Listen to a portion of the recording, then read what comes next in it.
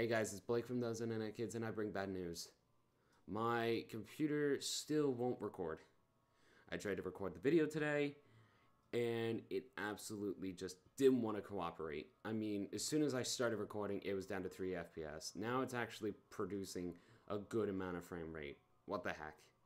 I'm sorry, guys. Um, I don't know what's going on. I really, really don't know what's going on. I've looked up everything, and I don't know what's going on with my computer. Anyway, guys, I'll see you in the next video. Bye-bye.